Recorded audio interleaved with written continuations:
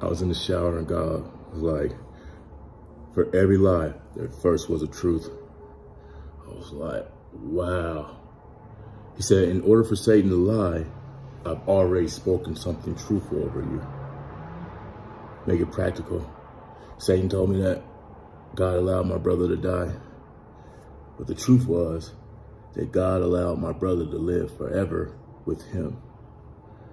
See, Satan to come and tell you that you'll always be lonely, but rejoice because somewhere before that, God said that I will never leave you nor forsake you.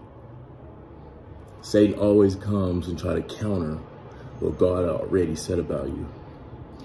So one way that I got my sanity back, I know that when Satan comes and he starts lying to me, I know God has already spoken the truth about the situation. And in order for it to be a lie, it has to be directly opposite of what God has already said. it blew my mind, man. And I understand now when Jesus was led into the wilderness and Satan kept trying to tempt him with different things. He was weak. He was hungry.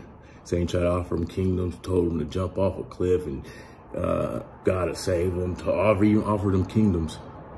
But Jesus immediately responded with truth. Our problem is that we take too long and we sit there in that lie.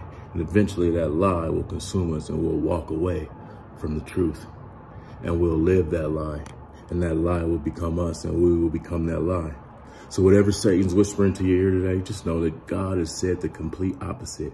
And once Satan knows that you understand this truth, he stops whispering lies into your ear because he understands. Now you understand he is speaking the very opposite of what God has already said about you.